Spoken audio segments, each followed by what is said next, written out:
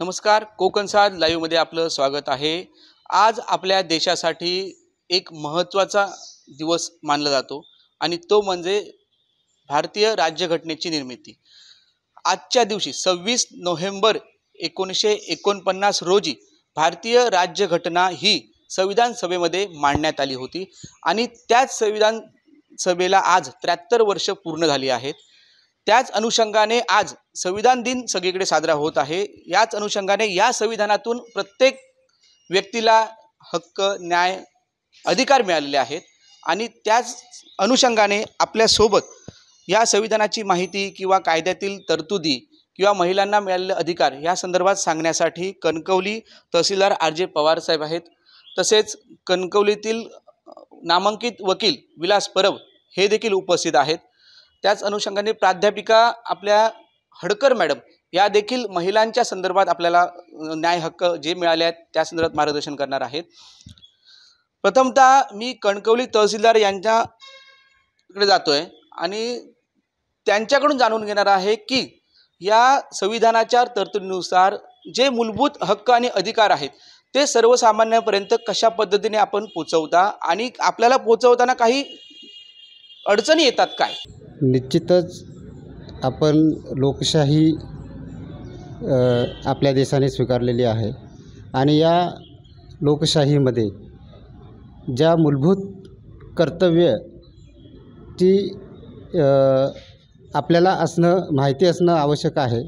अशावेळी घटना कितीही चांगली असली तरी ती अंमलात आणणारे लोक जर चांगले असले नसल्यास चांगली नसल्यास त्याचं मातोरे होतं. असं घटना समितीचे अध्यक्ष डॉक्टर बाबासाहेब यांनी सांगितलेलं आहे. आणि त्यामुळे मात्र त्या ती घ घटना चालवणारे जर लोक चांगले असतील तर निश्चितच जनतेला त्याचा फार उपयोग होतो आणि राबवणारे लोकही सुद्धा नि निसंशयी चांगली ठरतात. तसंच डॉक्टर राजेंद्र प्रसाद यांनीसुद्धा घटना स्वीकारण्याच्या सभेमध्ये नागरी सेवेचं महत्त्व विशद केले विशद करताना म्हणाले की राज्यघटनेत काही असले असेल अथवा नसेल राज्यघटना काही सांगो अथवा न सांगो देशाचे कल्याण या देशाचे शासन आणि प्रशासन कोणत्या प्रकारे चालते यावर अवलंबून राहील. आणि शाळा प्रशासन चालवणारे लोक कोण वा कसे आहेत त्यावर अवलंबून राहील असे म्हणणे आज प्रासंगिक आहे. यावर चिंतन करण्याची गरज आहे. लोक या शब्दात नागरिक सनदी अधिकारी लोकप्रतिनिधी इत्यादीचा समावेश होतो. कर्तव्य जबाबदारी सतत प्रेरणादायी आठवण व्हावी म्हणून संविधानावर श्रद्धा व निष्ठा बाळगण्याची व संविधानानुसार कर्तव्य पार पाडण्याची शपथ संविधान संविधानाच्या तरतुदी तरतुदीनुसार घेतली पाहिजे. हे सगळं आपण संविधानाची तरतुदी हे सगळं आपण मांडतो आहोत. पण आपल्याला शासकीय सेवेमध्ये काम करताना काही मूलभूत जे हक्क अधिकार आहेत जे सर्वसामान्य लोकांचे आहेत हे संविधानामध्ये मांडले ते देण्या म्हणजे त्यांच्यापर्यंत पोहोचवण्यासाठी काही अडचणी वगैरे होतात की काय? त्याच्याबद्दल सांगू शकता? घटना स्वीकारल्यानंतर आपल्या देशामध्ये प्रजासत्ताक राज्यकारभार चालू आहे. आणि अशावेळी या संविधानाप्रमाणे जी संविधानं ज्या लोकांसाठी निर्माण झालेली आहे त्यांच्यासाठी त्यांचा जर सहभाग असणं फार गरजेचं आहे. आणि त्यांचा जर सहभाग नसेल तर ती निष्फळ ठरू शकते. आणि म्हणून घट घटना समितीमध्ये जे काही दुरुस्ती सुचवलेल्या होत्या त्या त्र्याहत्तर आणि चौऱ्याहत्तर दुरुस्ती अशी म्हणते की जनतेचा सहभाग नागरिकांचा सहभाग जर चांगला असेल तर आपली घटना ही निश्चितच देशासाठी आणि आम जनतेसाठी उपयोगी ठरेल आणि त्याचा निश्चित गाव पातळीवर त्याचा विकास होण्यासाठी मदत होईल. निश्चित यानंतर आपले विलास परब साहेब आहे आपले परब साहेब आपण वकील आहात. आपल्याला वेळोवेळी या राज्यघटनेची माहिती घ्यावी लागते. त्याबद्दल बोलावं लागतं. काय सांगू इच्छितं या राज्यघटनेसंदर्भात धन्यवाद उमेशजी. प्रथमतः आजचा सव्वीस नोव्हेंबरचा दिवस संविधान दिन म्हणून अखंड राष्ट्रामध्ये साजरा केला जातो. तेव्हा भारतीय सगळ्या नागरिकांना आजूबाजूतील सगळ्या परिसरातील लोक ग्रामस्थांना आणि कोकण साद लाईव्हच्या सगळ्या श्रोत्यांना आजच्या ह्या कार्यक्रमाच्या खूप खूप शुभेच्छा. प्रश्न आपल्या प्रश्नाकडे वळतो. प्रश्नाचं उत्तर देण्यापूर्वी थोडीशी एक संविधान दिनाची आणि प्रजासत्ताक दिन म्हणजे नेमकं काय आणि संविधान दिन म्हणजे नेमकं काय याची एक थोडीशी एक छोटीशी मांडणी करू इच्छितो. सव्वीस नोव्हेंबर एकोणीसशे एकोणपन्नास या दिवशी संविधान सभेमध्ये घटना सादर करण्यात आली. आणि ती घटना संविधान सभेने स्वीकृत केली. स्वीकृत करणं आणि ती लागू करणे. आणि लागू कधी करण्यात आली? तर सव्वीस जानेवारी एकोणीसशे पन्नास. म्हणून त्या दिवशी तो दिवस प्रजासत्ताक दिन म्हणून आपल्या राष्ट्रामध्ये आपल्या संपूर्ण देशामध्ये अत्यंत मोठ्या उत्साहाने साजरा केला जातो. आता आता या घटनेमध्ये घटनेचं खरं तर मगाशीच आम्ही आणि तहसीलदार साहेबांशी बोल आम्ही चर्चा करत असताना कोणती घटना आपली जी घटना आहे खरं तर ही घटना जवळजवळ चारशे पन्नास अनुच्छेदाची आहे. आणि हे चारशे पन्नास अनुच्छेद सुमारे पंचवीस भागामध्ये व्यापलेले आहेत. आणि त्या भागांची ह्या छोट्या छोटेखानी कार्यक्रमामध्ये मांडणी करणं तसं कठीण आहे. परंतु महत्त्वाचे काही अनुच्छेद इथं मी आपणासमोर सांगेनच. आता खरं तर ही आपली घटना आहे ती संपूर्ण जगामध्ये सगळ्यात मोठी घटना मानली जाते. सगळ्यात मोठं गणतंत्र राज्य मा- देश हा मानला जातो. आता संविधानाची नेमकी व्याख्या कशी करायची तर एका शब्दात मी व्याख्या मांडतो भारतीय राज्यघटनेची. भारत देश कशा पद्धतीनं चालावा कशा पद्धतीनं चालविण्यात येतो याची सुसूत्र पद्धतीनं एकत्रित पद्धतीनं एका ठिकाणी मांडणी केलेली आहे तो दस्त तो दस्तऐवज म्हणजे आपली भारतीय राज्यघटना. म्हणजे आपण जिथे आज उभे आहात आपला माईक ज्या पद्धतीनं आपण माझ्यासमोर मांडलेला आहात जो प्रश्न आपण विचारलेला आहे या सगळ्या घो गोष्टी आणि सगळ्या बाबी या भारतीय राज्यघटनेमध्ये आपणाला मिळतात. त्यामुळे भारतीय राज्यघटनेची मु मूल्य आहेत ती मूल्य जपण्याचा कार्यक्रम म्हणजे आजचा दिवस आहे. त्यामुळे कायद्याच्या परिभाषेत या संविधानाचं महत्त्व किंवा संविधानाचा अर्थ काय असू शकतो? तर भारतीय राज्यघटनेच्या आधारे भारत देशामध्ये जे जे कायदे तयार होतात ते कशा पद्धतीनं कायदे तयार केले जाऊ शकतात कशा पद्धतीने तयार करायला हवेत याची मांडणी ही भारतीय राज्यघटनेने कायदे मंडळाला दिलेली असते. त्यामुळे कायदा कोणताही कायदा हा जो तयार केला जातो तो भारतीय राज्यघटनेच्या संरचनात्मक बाबींवर आधारित राहूनच तो कायदा तयार केला जातो आणि त्या कायद्याचं पालन तहसीलदार साहेब असतील न्यायालय त्या कायद्यांची अंमलबजावणी आणि आपण सगळ्यांनी मिळून त्या कायद्यांची अंमलबजावणी करायची असते. निश्चितच कायद्यासंदर्भात आपण माहिती सांगितली साहेब. आपल्यासोबत कणकवली कॉलेजच्या प्राध्यापिका हडकर मॅडम आहेत ज्या महिला आहेत आणि आत्तापर्यंत त- आपल्या संविधानामध्ये महिलांना न्याय आणि हक्क अधिकार हे प्रामुख्याने डॉक्टर बाबासाहेब आंबेडकरांनी लिखित केलेले आहेत. मॅडम काय सांगू इच्छिता संविधानाबद्दल? सर्वप्रथम सर्वांना भारतीय संविधान दिनाच्या हार्दिक शुभेच्छा. तुमच्या प्रश्नाकडे मी वळते. खरं तर डॉक्टर बाबासाहेब आंबेडकरांनी भारतीय संविधान लिहिल्यानंतर स्त्रियांना समान हक्क कायदे मिळायला सुरुवात झाली. जर एकोणीसाव्या शतकाकडे जर आपण वळलो तर स्त्रियांना खूप जाचक अटीमध्ये जायचं. रूढी परंपराच्या ज्या अटी होत्या त्यामध्ये चूल मूल इथपर्यंत जी स्त्री होती ती सीमित होती. पण नंतर मात्र डॉक्टर बाबासाहेब आंबेडकरांच्या अगोदर सावित्रीबाई फुलेंनी स्त्री शिक्षणाची मुभा मिळवून दिली आणि स्त्री शिक्षणाने स्त्रियांना आत्मभान यायला लागलं. त्यांना आत्मजाणीव झाली. आणि स्त्री शिक्ष स्त्री शिक्षणाच्या प्रवाहात आली. त्यानंतर तिला आपले हक्क कायदे याबद्दलची माहिती मिळू लागली. त्याचं सारं श्रेय जे आहे ते डॉक्टर बाबासाहेब आंबेडकरांनाच आम्ही देऊ इच्छितो. जर डॉक्टर बाबासाहेब आंबेडकरांनी हे कायदे कानून किंवा भारतीय भारतीय राज्यघटना जर लिहिली नसती तर आज इतक्या ठामपणाने मी सुद्धा माझं मत व्यक्त करू शकली नसती. आणि त्याचं सारं श्रेय हे भारतीय राज्यघटनेला आणि पर्यायाने डॉक्टर बाबासाहेब आंबेडकरांनाच देऊ इच्छिते.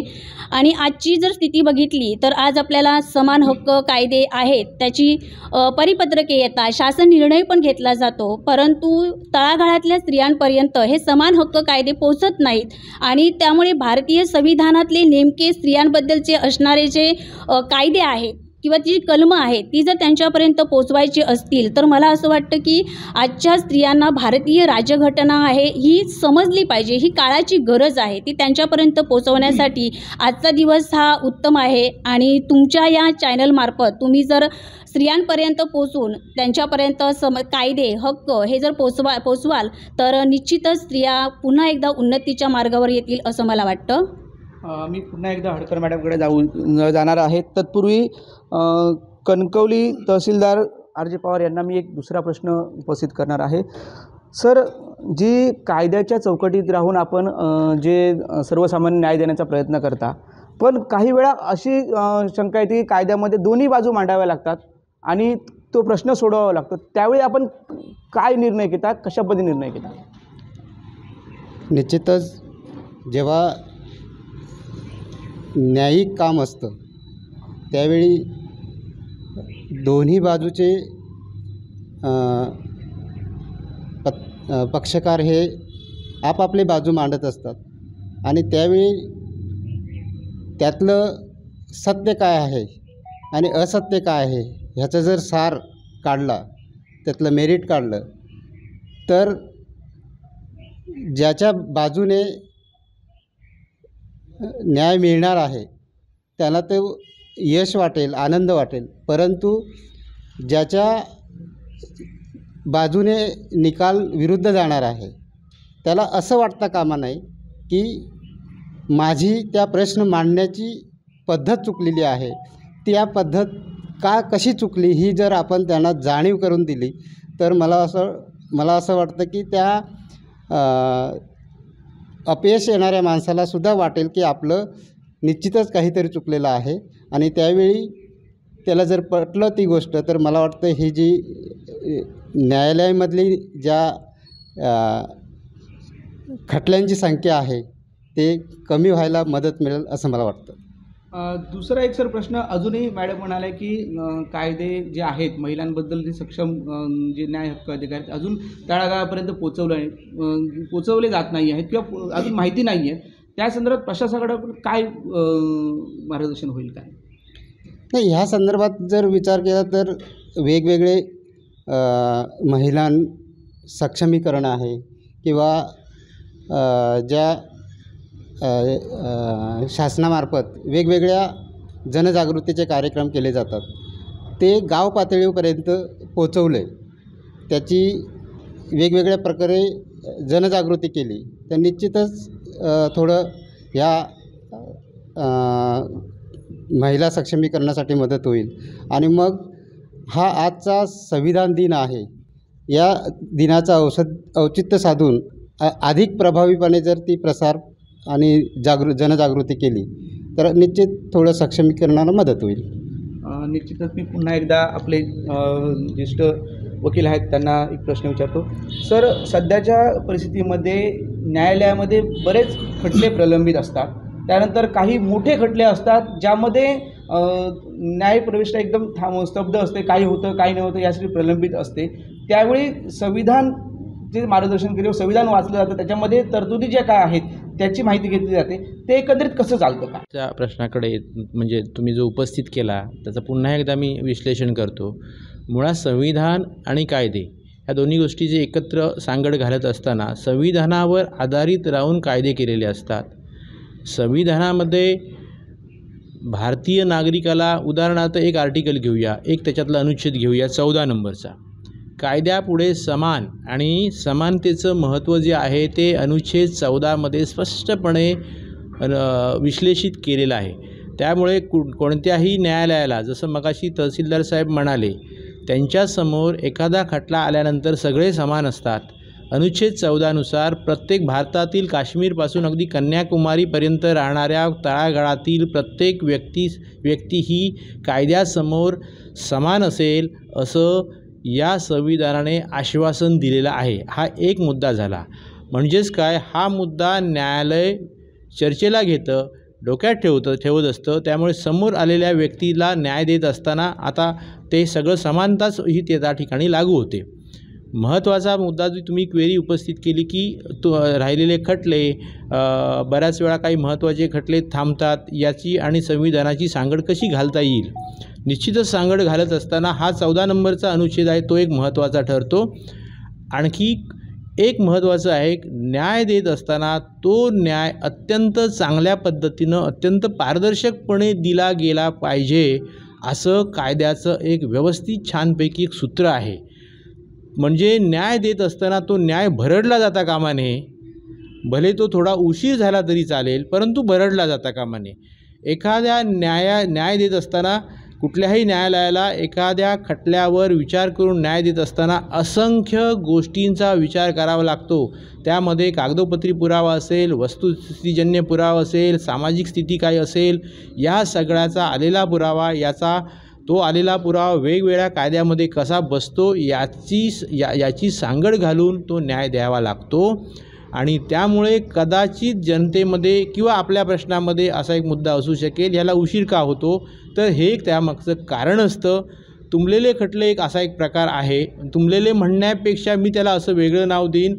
वाढते खटले वाढत खटले वाढत होण्यामाग राहण्यामागचं कारण या कार्यक्रमाच्या निमित्ताने आपल्या प्रेक्षकांना सांगू इच्छितो की जर संविधानाची माहिती जर आपल्याला व्यवस्थित असेल पुरेपूर संविधानाचं महत्त्व कळालं असेल तर कदाचित खटल्यांची संख्यासुद्धा कमी होण्याची शक्यता असते. त्यामुळे हा या न काही ठिकाणी जे खटले थांबलेले असतात त्याची मी कारणं आपणाला सांगितली की त्याला असणारी त्यावेळची प्राप्त परिस्थिती असते. जाणीवपूर्वक कुठल्या न्यायालयामध्ये खटला तुंबून राहतो. काही एखाद एखादं विरळ उदाहरण असू शकेल पण ते आश्वासक पद्धतीने किंवा ठाम पद्धतीने म्हणता येणार नाही. त्यालाही असंख्य कारणं असू शकतात. कारण चौथा स्तंभ जो आपण म्हणतो ऑफ द रेकॉर्ड की भारतीय संविधानाची चार रूपं आहेत. एक विधिमंडळ कायदेमंडळ प्रशासन न्यायव्यवस्था आणि आपण वृत्तपत्र. त्यामुळे या या पिलरवर ही संस्था सगळी उभी उभी राहिलेली असते. त्यामुळे न्यायव्यवस्थेकडून फारसं तसं काही केलं जात नाही. या कायदेमंडळाने पारित केलेल्या कायद्यांचं पद्धतशीर अंमलबजावणी करणे इवन प्रशासनावर सुद्धा अंमल ठेवणे हे सुद्धा कायदेमंडळाकडून अ, के न्यायालयांकडून केलं जातं. पुढच्या प्रश्नात कदाचित मी तुम्हाला एखादं उदाहरण सांगू शकेन केशवानंद भारतीचं. त्यानंतर आपल्याला संविधानाचं महत्त्व आणखी पटेल. निश्चितच सर आवडेल मला हे पुढचं उदाहरण तुम्ही म्हणताय केशवानंद भारतीचं. काय नेमकं म्हणताय? बघा भारतीय संविधान मी पुन्हा पुन्हा असं याच्यासाठीच म्हणालो की भारतीय संविधान हा म्हणजे मी एक जात असताना मी तहसीलदार साहेबांना किंवा कुठल्या एका ऑफिसरला म्हणू शकतो मी भारताचा नागरिक आहे. किती मोठ्या पद्धतीने फील कर मला होतं. मी I am the citizen of India हे म्हणण्याचा अधिकार मला भारतीय संविधानाने दिला. हे भारतीय संविधानाने मला मी भारताचा नागरिक आहे असं म्हटल्यानंतर मला या संविधानाने असं आश्वासन दिलेलं आहे तू मुक्तपणे संचार करू शकतोस. तुला मुक्तपणे धर्मस्वातंत्र्य आहे. तुला मुक्तपणे भा बोलण्याचं स्वातंत्र्य आहे. तुला मुक्तपणे विनाशस्त्र एकत्र येण्याचं स्वातंत्र्य आहे. तुला मुक्तपणे व्यवसाय करण्याचं स्वातंत्र्य आहे. अशा पद्धतीचं हे संविधान जर असेल म्हणजे संविधानाचा गाभा काय आहे? की मूलभूत अधिकार आणि मूलभूत कर्तव्य. मूलभूत अधिकार कोणते कोणते आहेत ते संविधानामध्ये आहेत. त्याचबरोबर नाण्याची दुसरी बाजूसुद्धा अशी आहे की माझे म्हणजे भारतीय नागरिकाची मूलभूत कर्तव्यसुद्धा आहे अधिकार मिळाल्यानंतर हक्क मिळाल्यानंतर त्याची कर्तव्यसुद्धा असतात. आता केशवानंद भारती खटला असा होता. कसं आहे बघा आपल्या भारतीय राज्यघटनेमध्ये साधारणतः एकशे दोन दुरुस्त्या झालेल्या आहेत. दुरुस्त्या होत नाही याच्यातला भाग नाही. परंतु त्या दुरुस्त्या मूळ इमारतीला ही इमारत आहे इमारतीचा कॉलमच जर तोडायला आपण गेलो तर काय झालं? ढाचा तुटल्यासारखा होईल.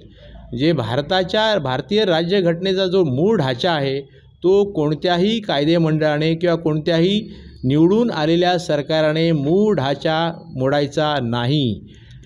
तेच उदाहरण केशवानंद भारतीमध्ये असं झालं होतं.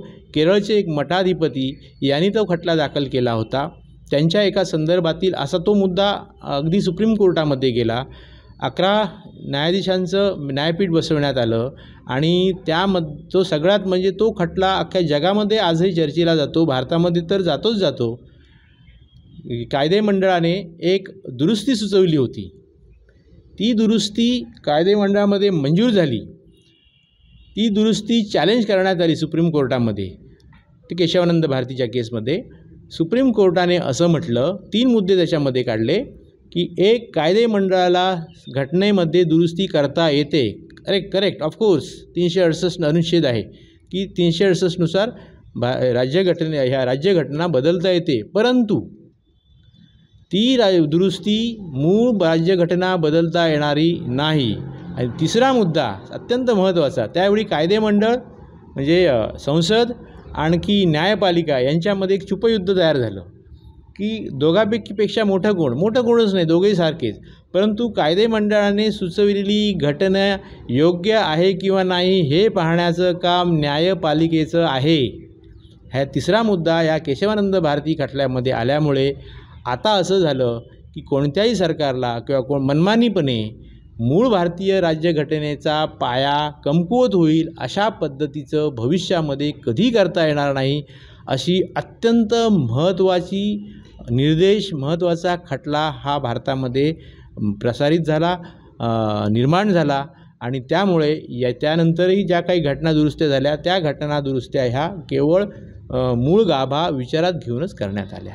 तुम्ही म्हणताय सर बरोबर आहे. मध्य काळात जे संविधान बदलण्याचं काम झालं आहे असं एक वक्तव्य होतं. काही पक्षीय राजकारणाच्या दृष्टिकोनात किंवा काही अशा पद्धती झालं त्यावेळी काय नेमकं आपल्याला करायला बघा एकशे दोन साधारणतः एकशे दोन अमेंडमेंट झाल्या आतापर्यंत याच्यामध्ये. प्रत्येक अमेंडमेंट ही घासून पुसून म्हणजे ज्यावेळी एखादी अमेंडमेंट सुचवली जाते संसदेमध्ये त्याची चर्चा होते त्याच्यावर संशोधन होतं वेगवेगळ्या माध्यमातून ते संशोधनातून ठराव पारित केले जातात. तो पास केला जातो. घटना मंजूर केली जाते. मला घटना एखादी बदललेली घटना मान्य नसेल तर मला केशवानंद भारतीच्या खटल्यानुसार मला ती दुरुस्ती सुप्रीम कोर्टामध्ये चॅलेंज करता येते. आणि जर तसं काय झालं असेल झालं आहे मा आपण जे ऐकतो या स पण नेमकं त्या पॉईंटवर आता आपण इथं भाष्य करणं योग्य नाही. मात्र तरीसुद्धा मुद्दा चर्चेला जाणं गरजेचं आहे असं मलाही वाटतं. घटनेमध्ये बदल झालेले असतील तर ते बदल चुकीचे आहेत किंवा योग्य आहेत किंवा अयोग्य आहेत हे ठरवण्याचे अधिकार सर्वोच्च न्यायालयाला भारतीय राज्यघटनेने दिलेले आहेत. त्यामुळे त्यावर सातत्याने साकल्याने चर्चा होऊन त्या संदर्भातले निर्णय पारित झालेले आहेत. मी पुन्हा एकदा हडकर मॅडमकडे आहे मॅडम जी भारतीय राज्यघटना आता सध्याच्या घडीला आहे. त्याच्यामध्ये जे मूलभूत हक्क अधिकार महिलांसाठी आहेत त्याबद्दल आपण काय सांगू इच्छितो? आज मूलभूत हक्क अधिकार आहेतच महिलांसाठी आणि त्याचबरोबर आज स्त्रिया ज्या तळागाळातल्या आहेत त्यांच्यापर्यंत अजूनही हक्क कायदे गेलेलेच नाही आहेत तरी देखील आत्ताच्या सध्याच्या परिस्थितीमध्ये महिलांना ग्रामपंचायत इलेक्शन असेल हं. जिल्हा परिषद असेल तेव्हा किंवा अन्य ज्या महिला बचत गट आहेत त्या माध्यमातून ते पुढे येत आहेत आता काही महिला महिलाच नाही राहिले राष्ट्रपती पण झालेले हो. आहेत त्याबद्दल आपण काय सांगू खरं तर ही महिला सक्षमीकरणाची खूप चांगली संधी आहे आपल्याकडे. आणि आज स्त्रिया तर पुरुषांच्या खांद्याला खांद्या लावून कितीतरी पुढे गेलेल्या आपल्याला पाहायला मिळतात. पण तरीसुद्धा आज जर आपण ग्रामीण भागाचा जर विचार केला ना तर मात्र ह्या स्त्रिया कुठेही पुढे आलेल्या आपल्याला दिसत नाही. आणि संविधानाचा जागर जो आहे तो तळागाळापर्यंत जर पोचला तर अजून आपल्या स्त्रिया सक्षम होऊ शकतात. आणि एक ना एक दिवस हा भारत देश जो आहे तो स्त्रिया चालवताना दिसतील असं मला वाटतं. आपण आता प्राध्यापिका आहात एका उच्च पदावर आहात. आपल्याला याचा अनुभव कसा आला? अनुभव तर खूप चांगला आहे. एक म्हणजे स्त्रियांचा एक सन्मान केला जातो तिथे. आणि आज स्त्री उच्च शिक्षित आहेत आणि स्त्रिया तर शिक्षणासारखं पवित्र योगदानाचं कार्य जे करत आहेत त्यामुळे मला प्राध्यापिका जे असण्याचं खूप अभिमान वाटतो. आणि खरं तर स्त्रियांनीसुद्धा उच्च शिक्षित प्रवाहात यावं असं या ठिकाणी मी म्हणू इच्छिते. मॅडम एकंदरीत म्हणतात की स्त्रियांनी शिक्षणाच्या प्रवाहामध्ये यावं. आपलं आपण आता शेवटच्या सत्राकडे जात आहोत. कणकवली तहसीलदार राजेपर्यंत शेवटचा एक प्रश्न विचारतो आहे मी सर मूलभूत जे हक्क अधिकार आहेत जे सर्वसामान्यपर्यंत मिळायला पाहिजेत ते अजूनही काही प्रलंबित आहेत? काही काही त्यांना आपण न्यायव्यवस्थेने आपण सांगत आहात. त्याच्यामध्ये जनजागृती पद्धतीने कशी रणनीती असेल किंवा र कशा पद्धतीने आपलं कार्य चालेल शासनाचं? आजच्या संविधान दिनाच्या निमित्तानं औचित्य साधून सांगू इच्छितो. शासन आणि प्रशासनामध्ये जे काही वेगवेगळे डिपार्टमेंट आहेत. आणि ते आपापल्या ज्या शासनाच्या योजना आहेत किंवा ज्या अंमलबजावणी करण्याच्या गोष्टी आहेत त्या जर गाव पातळीवर व्यवस्थितरित्या पोहोचवल्या गेल्या तर संविधानामध्ये जे काही अपेक्षित आहे की आपण प्रजासत्ताक राज्य म्हणून स्वीकारलेली राज्यघटना आहे. आणि खऱ्या अर्थाने भारत स्वातंत्र्य झाल्यानंतर सव्वीस जानेवारी एकोणीसशे पन्नासला ही जी आपण प्रजासत्ताक दिन म्हणून जो साजरा करतो तो जर खऱ्या अर्थाने साजरा जर झा व्हायचा असेल तर गाव पातळीपर्यंत संविधानामध्ये ज्या काही मूलभूत हक्क आणि कर्तव्य ह्याची जनजागृती जर झाली आणि शासनाच्या विविध योजना आहेत त्या गावपर्यंत बा गाव पातळीपर्यंत पोचल्या तर निश्चित या संविधान दिनाच्या निमित्ताने जनतेमध्ये बऱ्यापैकी असंच हक्काकडे कल असतो. मला हे पाहिजे ते पाहिजे. पण कर्तव्य करणं किंवा कर्तव्याची जाणीव करून देणं हे तितकंच गरजेचं आहे. आणि ही या संविधानाच्या दिनानिमित्त मी आम जनतेला किंवा आपल्या चॅनलला पण असं सांगू इच्छितो की नागरिकांमध्ये कर्तव्याची जाणीव व्हावी यासाठी सुद्धा आपल्याकडून चॅनेलकडून प्रसारित केले जावे असं या प्रसंगी मी बोलू इच्छितो. जाता आता शेवटचा जे वकील आहे त्यांना एक प्रश्न आहे. सर तुम्ही जनतेला काय आवाहन करू इच्छिता?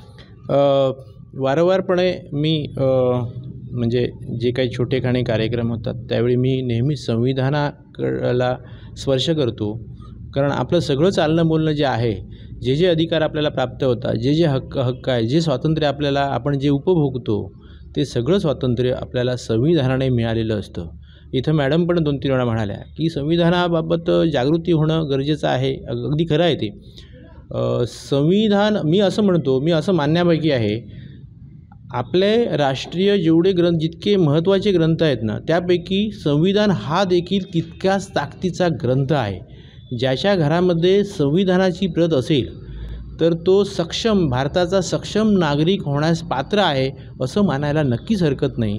त्यामुळे मी आपल्या चॅनलमार्फत एक निवेदन करू इच्छितो की प्रत्येक नागरिकाने किमान एकदा तरी संविधान वाचावं. आणि ते संविधान वाचत असताना हक्कांची जागृती करत असताना आपली कर्तव्य काय आहेत ते सुद्धा महत्त्वाचं आहे.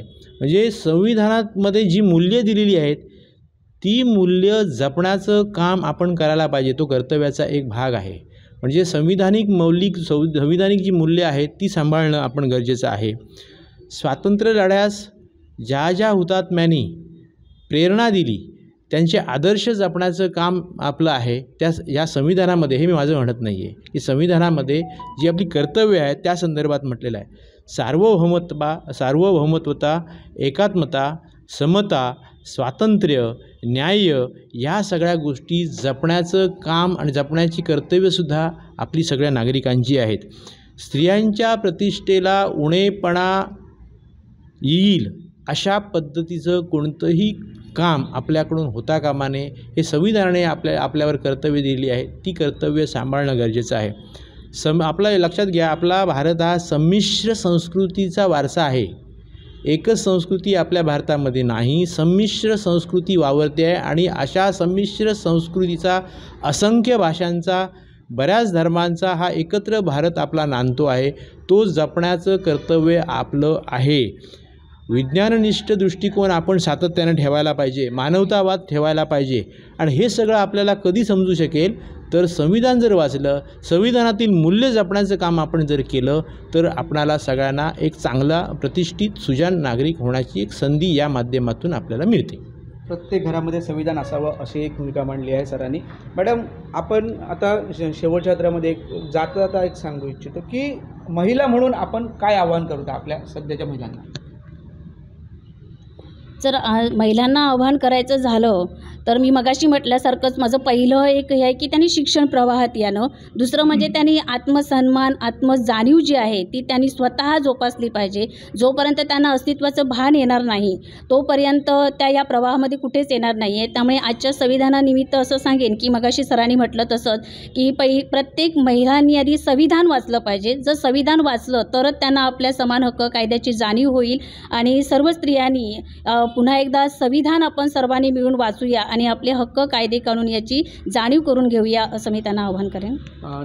निश्चितच हे होते हडकर मॅडम त्यानंतर हे होते विलास परब साहेब कणकवली तहसील राज्यपाल यांनी आपल्याला सांगितलं आहे की संविधानाचे मूलभूत हक्क आणि अधिकार बंधुता हे सर्व टिकवण्यासाठी आपण संविधान वाचावं संविधानाची प्रत आपल्या घरात असावी. डॉक्टर बाबासाहेब आंबेडकरांनी ज्यावेळी संविधान पूर्ण केलं लिहून त्यावेळी ते संविधान सभेमध्ये मांडत होते. त्यावेळी त्यांनी सांगितलेलं की हे संविधान ज्याची पूर्ण करण्यासाठी ज्याची अंमलबजावणीसाठी त्याची जी लोकांची मानसिकता चांगली असेल तर हे संविधान चांगलं चालेल. जर संविधान हे स मानसिकता जर त्यांची वेगळी बदलली असेल किंवा त्यांची मानसिकता वेग निश्चितच कुठल्या प्रकारची वेगळी असेल तर तशा पद्धतीने संविधान वेगळ्या पद्धतीने चालेल. त्यामुळे अशा पद्धतीचं हे जे मांडणी होती डॉक्टर बाबासाहेब आंबेडकरांनी ही चांगली केलेली आहे. लोकशाही टिकवण्यासाठी लोकांनी लोकांसाठी लोकांच्या हिताची कामे के केली पाहिजेत तरच आपली लोकशाही टिकू शकेल असं अब्राहिम लिंकन यांचं वक्तव्य आहे. त्यामुळे सध्याच्या आजच्या संविधान दिनानिमित्त आपण ह्या सर्वच मान्यवरांशी संवाद साधलेला आहे. त्यांनी देखील सांगितलेलं आहे जो संविधान दिन आहे तो आपण गावागावामध्ये पोचवणार आहोत. गावागावामध्ये जनजागृती होईल आणि त्यानंतर प्रत्येक जो व्यक्ती आहे ती सक्षम होईल हेच एक या संविधानाचं उद्देश आहे. उमेश बुचडे कोकण साध कणकवली.